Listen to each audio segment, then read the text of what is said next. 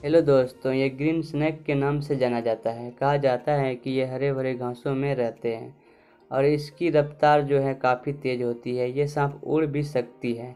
ये जब किसी चीज़ को काट लेता है तो काफ़ी तेज़ से इसकी बीख शरीर में भिन जाता है। अफ्रीका के जंगलों में ज़्यादातर ये पेड़ के हरे पत्तों में रहते हैं। इंडिया में भी आपको देखने के लिए सांप मिल जाएगा। काफ़ी ही विशेला रूप से ये माना जाता है और काफ़ी ही इसकी नमाई होती है। और इसकी पूरे शरीर ग्रीन, हरे ही रंग के होते हैं। आप देख सकते हैं इस वीडियो में जो कि आपको काफ़ी ही अजीब लग रहा होगा देखने में। और ऐसा चीज़ देखने के लिए मेरे चैनल को सब्सक्राइब, लाइक, शेयर ज़रूर कीजिएगा। हमेशा वीडियो आपको मिलते रहेगा इस तरह के।